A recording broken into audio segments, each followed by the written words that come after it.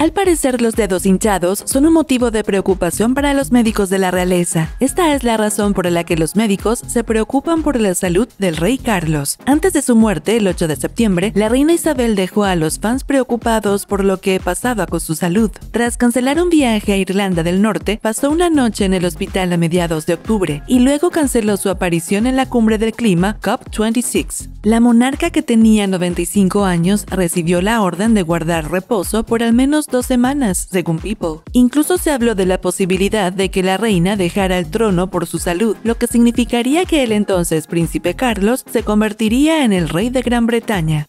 With the enforced absence of his mother, Prince Charles is leading the royal lineup at COP26.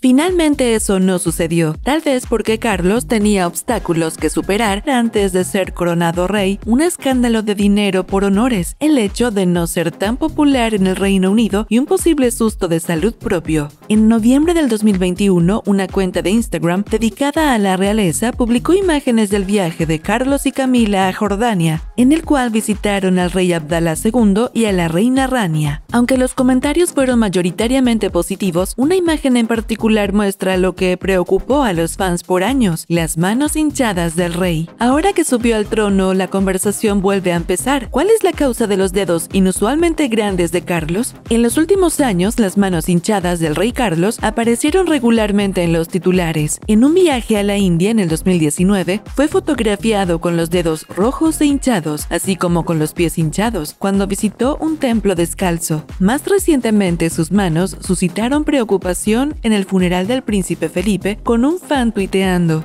Nunca me fijé en las manos del príncipe Carlos hasta esta foto. ¿Está bien? El monarca fue fotografiado en repetidas ocasiones con las manos hinchadas y en su visita a Australia en el 2012, él mismo bromeó sobre tener dedos de salchicha. Esta preocupación se volvió cada vez más popular y según Woman and Home, dedos de salchicha fue el cuarto término más buscado en Google en el Reino Unido entre julio del 2021 y del 2022. El NHS emitió en mayo un consejo sanitario sobre el tema. Según Mirror, se centró en el edema o la acumulación de líquido como origen del problema. Las causas de los edemas varían desde estar de pie o sentado mucho tiempo hasta comer mucha comida salada, pasando por coágulos de sangre o infecciones. Pero el NHS señala que en la mayoría de los casos no hay de qué preocuparse y que la hinchazón desaparecerá por sí sola en unos días. Tras la muerte de la reina Isabel II, Carlos se convirtió automáticamente en el rey Carlos III a los 73 años. My mother gave an example of lifelong love and of selfless service.